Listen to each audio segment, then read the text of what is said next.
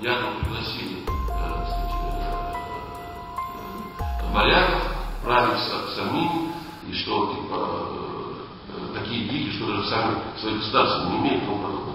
Киевская Русь, во-первых, хочу сразу сказать, Киевская Русь специально сфальсифицирована никакого отношения к России смысле слова и Российской империи. Киевская Русь не имела, была как частью, которая и откалывалась от этой империи при захвате власти Рюриком.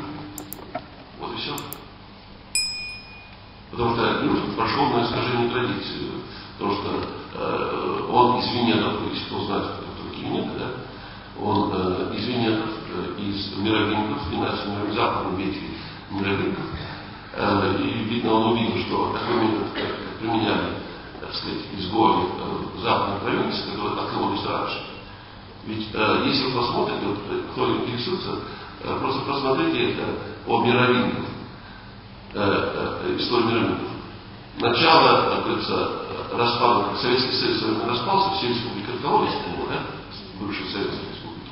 И каждая республика э, стала самостийной самостоятельной, и начинает писать историю, уже свою собственную, переписывать так, что вообще никогда ничего не было, и только благодаря там, Грузии, Украине и так далее, и Советский Союз стоял, и вообще мир бы упал, если Грузия не существовала, например, да? Ну и тому подобное. Э, понимаете, то же самое происходило, это не первый раз, это происходило э, э, революция, так называемая, которую мы сейчас называем, да? Э, их начало имеет седьмой век, когда вот, э, убивали, допустим, Драгомир II, это последний из мировиков э, в Западной Европе, которого убили во время сна на охоте.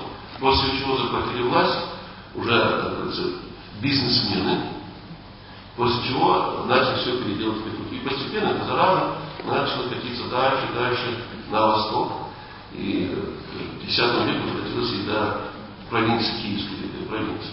Понимаете, вот э, э, могу сказать, опять-таки, меня есть оригинал британской энциклопедии 1771 года.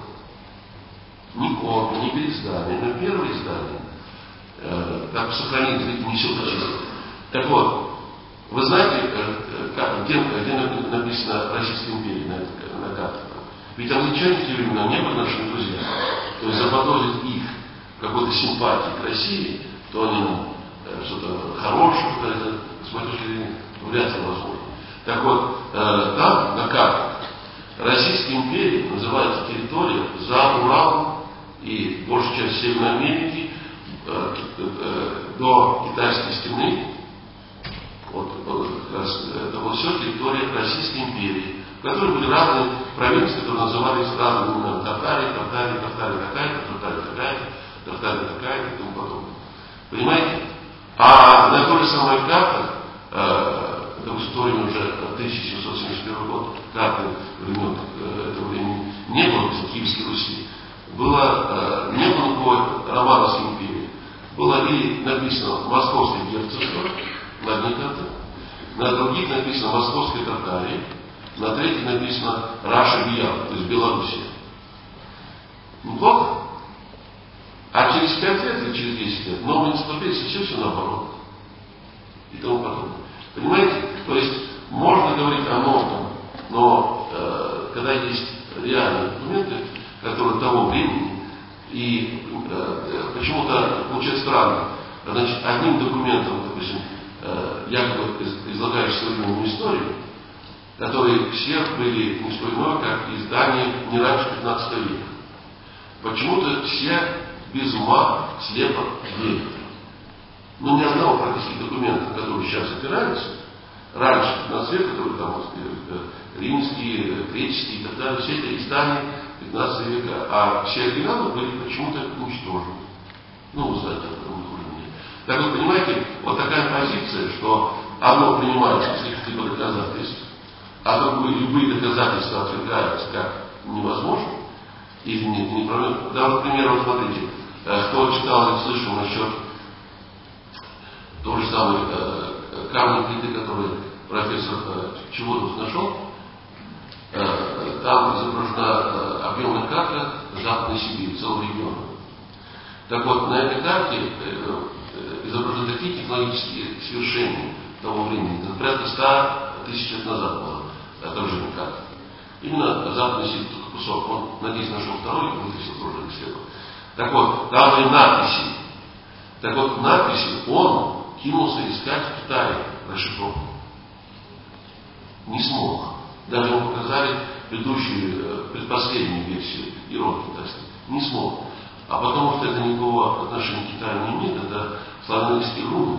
Написано, мне некоторые прислал, э, э, как они будут.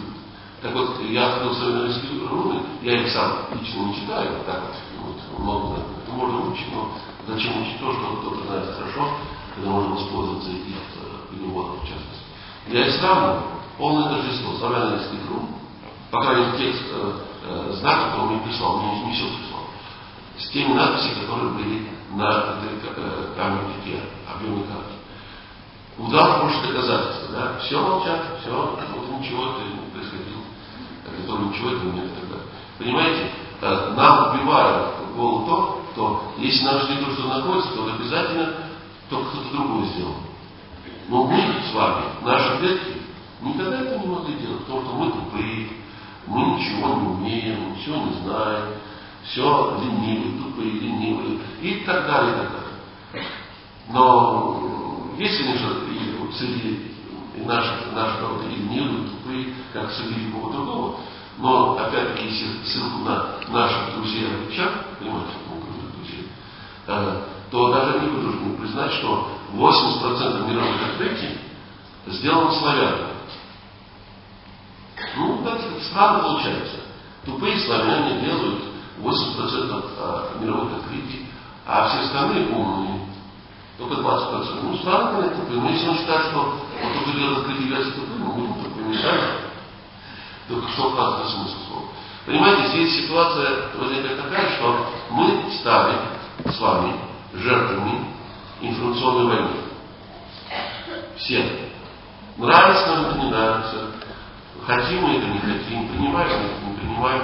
Потому что наши враги, которые долго время пытались нас э, поработить любыми другими способами, ничего из этого не получилось. Воевать они плохо умеют, э, э, так сказать, э, по крайней мере, всегда проигрывают в поле сражений и тому подобное. Когда они после многократных попыток, когда они постоянно били наши предки, после чего они сделали вывод, что надо иметь тактику и стратегию. И изучив психотип э, наших предков, э, который был весьма и положительным, но минусы тоже имел.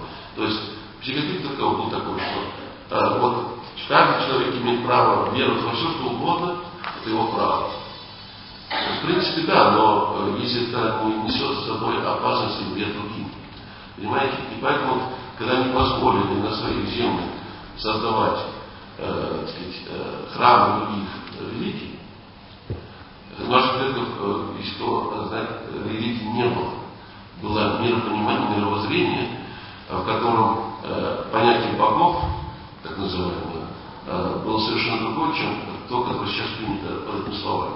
То есть наши предки понимали под богами не э, существ, существа или существ, которые создали все и вся, а э, существ, разумных существ, многие из которых из людей вышли, которые иерархически смогли развиться и достичь определенных э, высот и стать творцами, то есть подняться на высокий качественный уровень эволюционный.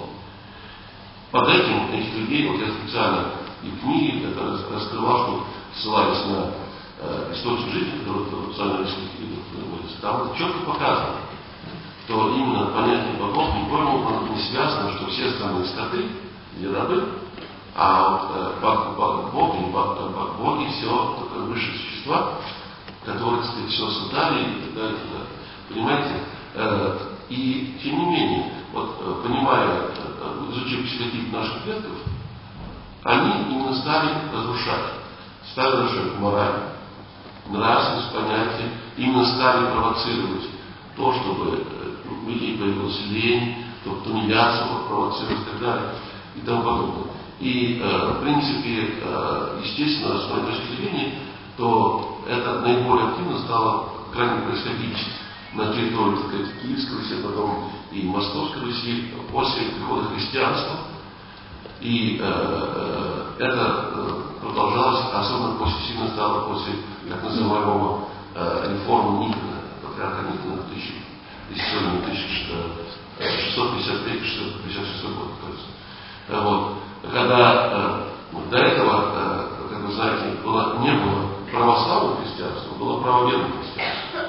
И слово Аллах было одно из имен э, Бог, который э, использует христианскую церковь наравне с другими именами.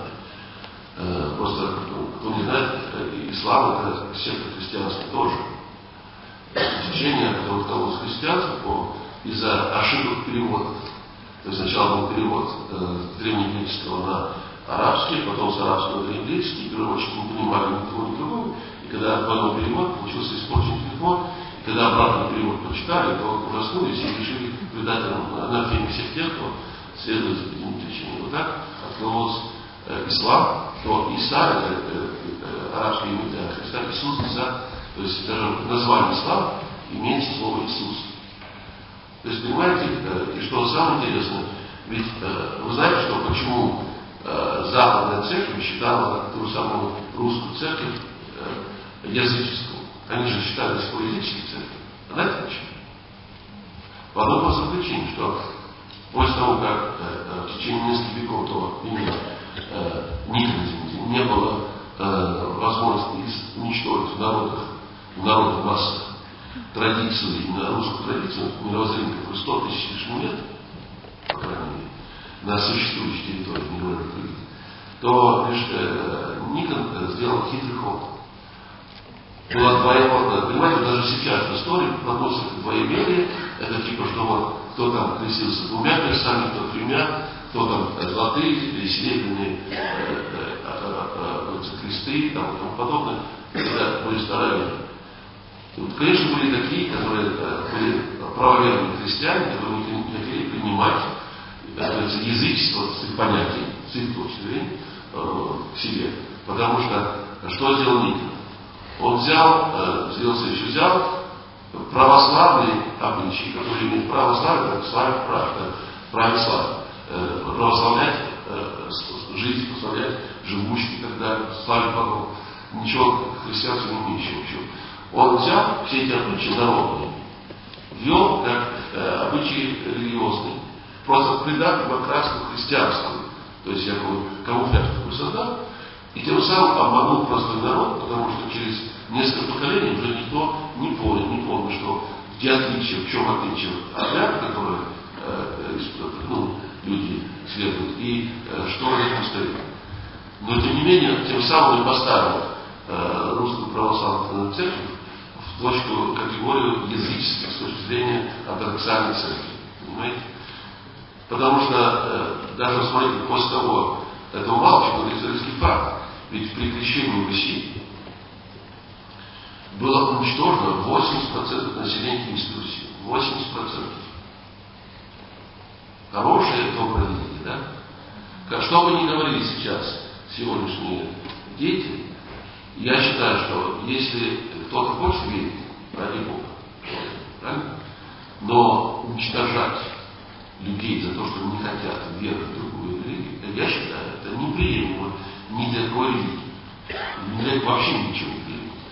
Уничтожили 80% населения, практически все взрослое население, а живых детей оставили детей, которым уже отбивали с детства голову э, догму. Но, тем не менее, это не получилось. Видите, до 17 века, 1600 э, год, хотя опять это неправильно, э, я пользуюсь датировкой, принятой сегодня, хотя это не совсем правильно. Ведь если кто-то мне покажет летопись 11 века, я скажу, что фальшивит. Знаете почему? А по той простой причине, что это переписано летопись. Потому что по даже современной истории